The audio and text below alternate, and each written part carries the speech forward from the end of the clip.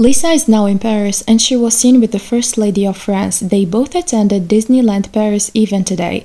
So for the 31st year in a row, Disneyland Paris invited hundreds of young people in hospital and also their families to a magical and forgettable stay in the park and Lisa was invited and she came today. Lisa is currently in Paris preparing for her next performance. Lisa will perform in one of the most famous charity concerts in France where all the profits and tickets money will go to hospitals. Lisa will definitely be the main event in the concert and everybody is excited for her performance.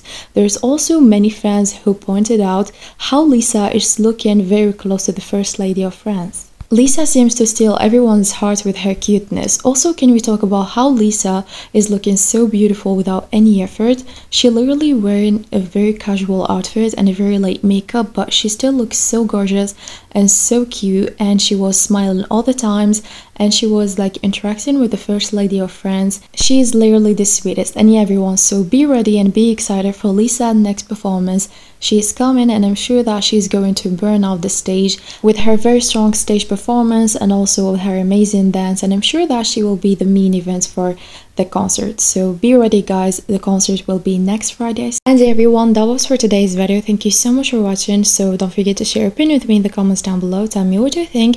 And of course, don't forget to subscribe to my channel so that you're gonna see every single video that I posted. Thank you so much for watching. And see you in the next videos. Take care of yourself and goodbye.